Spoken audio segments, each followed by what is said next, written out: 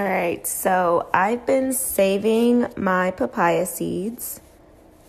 And if you don't know already, papaya seeds are um, some natural source for you to get rid of parasites. And it does have like a peppery type of taste to it. So, what I'm going to do is I'm going to soak these overnight and then I'm going to put them in the food dehydrator and then I'm going to put them in a pepper grinder so that way whenever I cook, I can just use my papaya seeds, aka black papaya pepper, I guess. Um, another way that you could do it, you could soak them, dry them, put them in a coffee grinder, and drink it as a tea. But there's your lesson for the day papaya seeds. A lot of people don't like papaya, but the seeds natural way to get rid of parasites in your body. So I'm just adding spring water.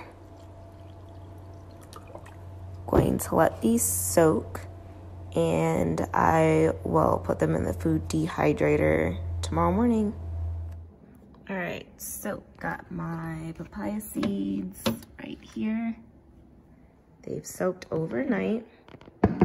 What I'm going to do now is drain them and after that, I'm gonna put them in the food dehydrator after I get all of these little uh, fleshy pieces of the papaya out. All right, so I have gotten all of the papaya pulp out or flesh. Got my sea moss that I'm making here. I'm Gonna make some sea moss gel. I'll post a video on that later. But what I'm going to do is I'm going to get these seeds. This is my food dehydrator, dehydro food hydrator by Presto. It's pretty cheap if you get it on Amazon. It was under a $100. But what I'm going to do is get these, put them on here so that way they don't fall through the holes. And I don't know, probably just let it go all day or at least until they're dry. I'm not really sure how long, so I'll let you guys know as soon as it's finished and I'll get back to you then.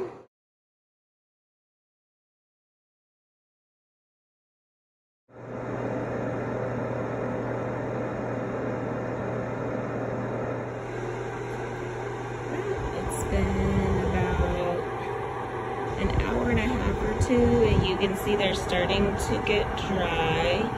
Not quite there yet, they're still a little bit soft.